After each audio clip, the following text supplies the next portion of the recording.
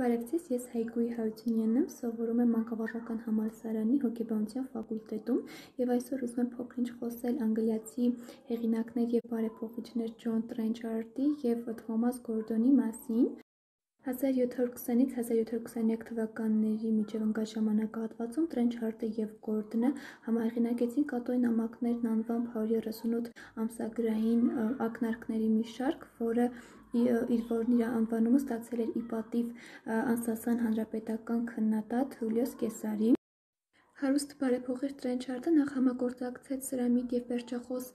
Գորդոնի հետ մի շաբաթաթերթի շրջանակներում, որը դատապարտում էր Ստյուարտին գահանձնելու կաթոլիկ պահանջը եւ պնդում էր, որ խղճի ազատությունը դա բնական իրավունք է, որը չի կարող զսպել ոչ հոգեւորական եւ ոչ էլ քաղաքական գործիչները։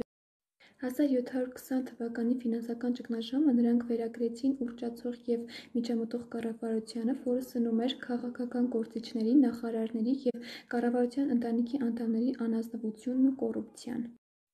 Նրանց պնդումն այն մասին, որ կառավարությունը հենվում է համաձայնության եւ բռնակալությունը տապալելու հասարակական իրավունքի վրա, նամակների հայտնիությունը ավելացրեցին հատկապես Ամերիկայում։